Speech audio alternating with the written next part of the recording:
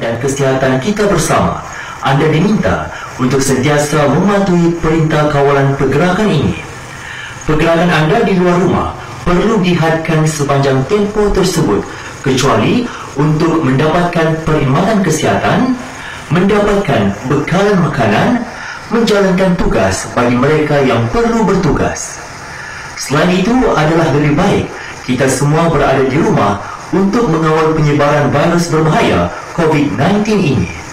Maklumat lanjut mengenai perintah kawalan pergerakan boleh hubungi Pusat Pengurusan Operasi Negara di talian hotline 03 8888 2010